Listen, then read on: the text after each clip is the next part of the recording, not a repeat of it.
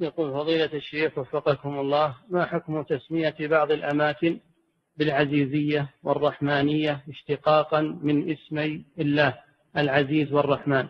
وهل هو؟ لا ما هو اشتقاق من اسم الله. اشتقاق من اسم العبد عبد الرحمن يسمون ما ينسب إليه رحمن وعبد العزيز ينسبون إليه عزيز, آه عزيز أو عزيزي أو العزيزية نسبة إلى العبد. الذي كان يملك هذه الأرض أو هذا المخطط ينسب إليه هذا نعم. يقول وهل هو كقول ابن عباس سموا اللات من الإله والعزى من العزيز؟ لا يا أخي لا لا.